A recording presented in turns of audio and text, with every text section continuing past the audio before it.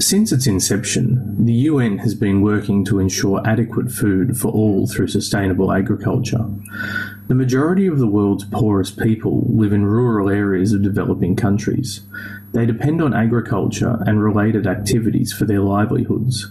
This makes them particularly vulnerable to man made and natural influences that reduce agricultural production.